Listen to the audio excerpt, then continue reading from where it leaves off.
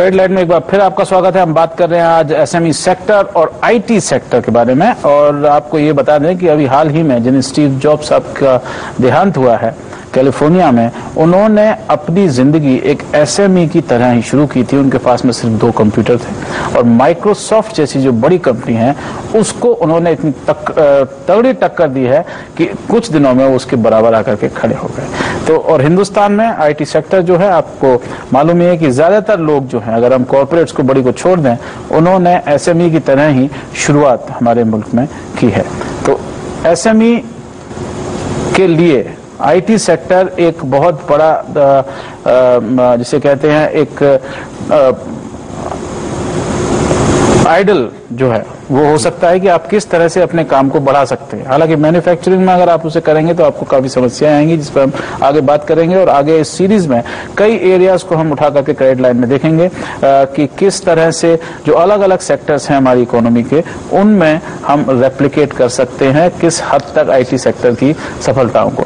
यहाँ पर कुछ लोग सवाल पूछना चाहते हैं। नौजवान आप बताइए। आईटी सेक्टर रूरल एरिया में भी आने वाला है। हम्म। तो सर अर्बन एरिया में जहाँ ज़्यादा ज़्यादा लोग आई आईटी सेक्टर में आ रहे हैं, उसकी ग्रोथ बहुत अच्छी हो रही है। रूरल एरिया में उसका क्या, इतना तो लोग जानते भी नहीं है तो क्या लगता है आपको, क्या उसकी ग्रोथ कितनी पहुंचेगी? आईटी सेक्टर की जो पेनिट्रेशन है वो मैंने देखा है कि इंग्लिश की पेनिट्रेशन और आईटी सेक्टर की पेनिट्रेशन डायरेक्टली प्रोपोर्शनल है। तो जहाँ पे इंग्लिश का प्रमोशन पेनिट्रेशन अच्छा होगा वहाँ पे आईटी का पेनिट्रेशन ऑटोमेटिकली अच्छा हो जाता है। या ये वाइसी वर्षा है मुझे नहीं मालूम। लेकिन ये दोनों डायरेक्टली प्रोपोर्शनल चल रहे हैं। तो अब अगर आप देखेंगे तो कुछ रूरल एरियाज़ जैसे आप केरला के कुछ रूरल एरियाज़ देखें तो वहाँ पे आईटी का पेनिट्रेशन बहुत अच्छा है। महाराष्ट्र में हाँ, महाराष्ट्र में कुछ पुणे में देखें तो पेनिट्रेशन बहुत अच्छा है। दिल्ली में देखें तो बहुत अच्छा है। आप खास करके यूपी बिहार पटना लखनऊ जाए तो वहाँ पे काफ़ी कम है। क्योंकि इंग्लिश का पेनिट्रेशन इक्वली अच्छा नहीं है। या राजस्थान में रूरल एरिया में जाए तो अच्छा नहीं है। क्योंकि आईटी कुछ ऐसा हो गया है कि टेलीविज़न और मोबाइल तो आप अपनी लोकल लैंग्वेज में एंटरटेनमेंट मूवी सिनेमा आप अपनी लोकल लैंग्वेज में कर लेते हैं। लेकिन आईटी आज भी as an official language starts with English और इंग्लिश पे ही उसका सारा काम होता है और अब शायद काफ़ी देर हो चुकी है कि कब Uh, हो सकता है कि थोड़ा बहुत कंटेंट लोकल लैंग्वेज में मिल जाए एंटरटेनमेंट कंटेंट या न्यूज़ कंटेंट लेकिन क्या वहाँ पे काम हो सकेगा 16 अलग अलग लैंग्वेजेस में? ऐसा प्रतीत नहीं होता। लैंग्वेज जो है वो खत्म हो गई। इंडिजिनियस बीपीओ तो आज की तारीख में रूरल एरिया से ही ज़्यादातर चलाए जा रहे हैं। उसका रीजन है कि वहाँ पे एक इजी एम्प्लॉयमेंट ओवरहेड्स को मिलता है। ओवरहेड्स कम है। और वहाँ पर वो एक बेसिकली एक प्राइमरी एरिया बनता जा रहा है लोगों को बिज़नेस प्रमोट करने के लिए। यहाँ पर न पंकज एक बात और हर साल हम एक कार्यक्रम करते हैं वो करते हैं हम the best ideas for rural India IT ideas for rural India awards बाकायदा होते हैं और हमारे यहाँ वो लोग आते हैं बताते हैं कि कैसे वहाँ पर किसानों के लिए उन्होंने एक नई लाइन शुरू कर दी है जिसकी वजह से उनकी यील्ड बढ़ गई है। ये सारे आइडियाज़ हैं जो कि वास्तव में एसएमई आइडियाज़ हैं। जी। लेकिन उनको हर हर एक बंदा मुझसे यही कहता है कि यार हमको सपोर्ट नहीं मिलता। वो गवर्नमेंट के पास जाते हैं हमको अवार्ड मिलता है वो गवर्नमेंट के पास जाते हैं हमें अवार्ड मिल गया हमें थोड़ा पैसा दे दो। क्या मतलब from financial system which is regular financial system जिसमें आप काम करते हैं ये काम करते हैं अग्रवाल साहब में उनसे उनको सपोर्ट नहीं मिल सकता। ये सब ज़रूर मिल सकता है। बात सिर्फ़ ये होती है कि हम जो चाहते हैं उसको प्रॉपर प्रेजेंट करते हैं।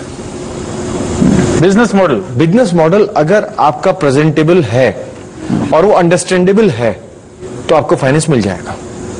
आपका बिज़नेस मॉडल है आपके थॉट्स में मगर आप उसको प्रेजेंट नहीं कर पा रहे हैं या वो अंडरस्टैंडेबल नहीं है तो आपको कैसे फाइनेंस मिल पाएगा? एक इंस्टीट्यूशन में जो आदमी बैठा है वो एंटरप्रेन्योर तो नहीं है वो फाइनेंसर है। वो उसके अंदर अपने प्लस माइनस देखेगा ठीक है। एंटरप्रेन्योर आप सही बात है घोड़ा घास थॉट्स बताइए तो खाएगा आप उसे अपनी थॉट्स बताइए उसे समझाइए कि इसमें क्या प्रॉफिटेबिलिटीज हैं उसको दिखाइए वो आपको फाइनेंसिंग कर देगा।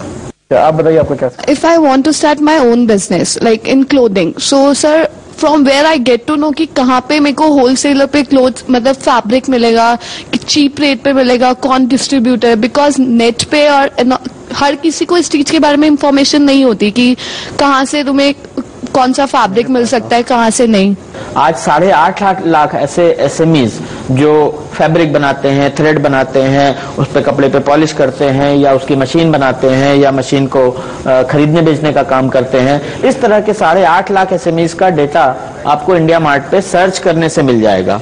और इंडिया मार्ट ही नहीं और दूसरी भी वेबसाइटें इंडिया मार्ट के जैसी। चाइना के नाम से अगर आप देखें तो अलीबाबा है या और भी दुनिया में जाए तो आप गूगल पे जा करके अगर आप सर्च करेंगे कि फैब्रिक सप्लायर फ्रॉम इंडिया या फैब्रिक सप्लायर फ्रॉम मुंबई या दिल्ली तो आपको काफ़ी सारा मिलेगा। interruption चाहूँगा। देखिए इसमें ऐसा जैसे अलीबाबा पे या गूगल पे आप चले जाते हैं in spite of India mart तो उसमें एक दिक्कत ही आती है कि वहाँ जो डेटा मिलता है उसकी रेलिवेंसी के इशू है।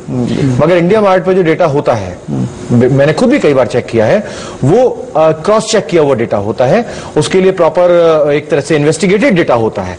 आपको एक गलत सप्लायर मिला आपकी एसएमई कल सुबह बंद हो जाएगी।